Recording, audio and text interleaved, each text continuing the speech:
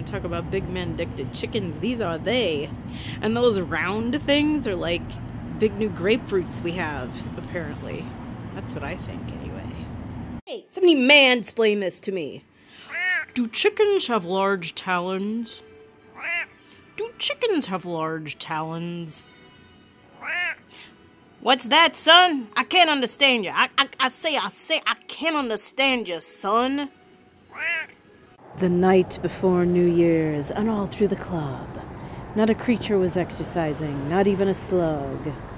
The dad bods were nestled all snug in their beds, knowing that they would have to relinquish the bread, the bread and the carbs, that is, for New Year's 2019. So they would have a body like Casper Van Dien. God, look at this. It's like an all parallel spider web that they're trying to create over the city of Los Angeles, over Hollywood.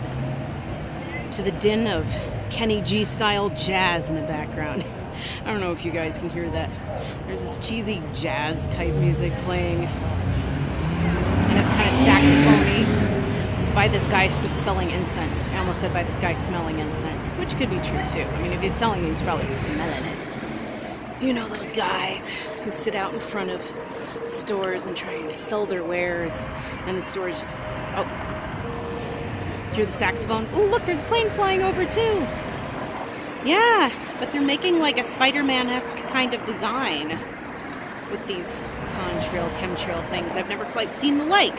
But if they start crisscrossing it like George Noory always talks about, which I've actually never seen them do a tic-tac-toe board, but this is the closest I've seen all one directional. And of course that line at the top is kind of going in a diagonal differential direction. But it's still pretty weird in its symmetry. Anyway, guys, just let me know what you think, if you think anything. If not, just admire the pretty pattern and peace out. And now we see the sunset's after effect. And now the lines are a little more zigzaggy, but interesting nonetheless. And one of them looks like the Star Trek symbol, like that, only that way. See? All right, peace out. These really don't look like chemtrails. They just look like straight pellet-like clouds because they just start and stop really, really immediately and erratically. But at least they're not V clouds warning us of the V-like invasion. Oh, except for this one on this very side is kind of a V cloud, but it's pointing in the totally wrong direction and it doesn't totally come together at the angle. But even still, you get the basic idea. First now here is another X cloud. Hmm. Fluffy V cloud. Boom. It's nighttime. The Chase Bank sign is supposed to be white at night and get gold at dusk and be black during the day. So I thought it was color changing glass with the sun.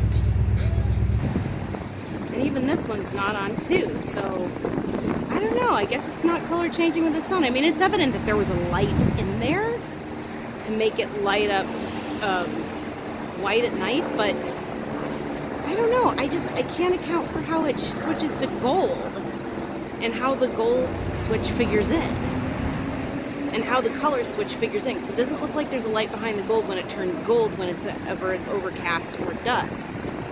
So I still don't know how this glass works. Um, I should probably try and call Signtech, which I still haven't done. But it's just really fascinating glass. Maybe I'll look it up online. Maybe I'll figure out the answer to this riddle and I will post it as a post note to this video to solve the ever-changing mystery of the Chase Bank sign and the so-called reflexive glass, which isn't ref reflexive, reflective. Because it's really not so reflective, is it? Then again, maybe it's just reflecting the black sky with no light on underneath. But then why does it need a light and why does the glass need to be color changing if, well, I guess if they put a white light on, at night it needs to. Why do we even need this kind of technology for this sign? Why don't they just make it like regular signs and stop confusing the hell out of us? That's my point. All right, peace out. This is so silly. is, I love it. Look! It says, go dog, and then that circular creature next to it, his face is like smushed up against the glass. And then that other circular creature, I guess is less chubby, so he didn't need to be smooshed so hard against the window. Anyway, this is our cat and dog store emporium that sells everything from baked goods for cats and dogs. Well, no, for dogs. Cats would need it. Um, to catnip goods to everything. And anyway, so this is our pet store, but it's hilarious and I had to show you guys this. Also, I wanted to let you know I had another time slip the other night. So I was looking at my clock and I had to be somewhere and it said 7.30 and then 10 minutes later I looked down at my clock and it said 7.31. So I don't know what's happening with time for this new year. In any case, I hope you guys are having a great new year so far. Um, and I just wanted to show you this hilarious little scene. All right, that's about it. Peace out.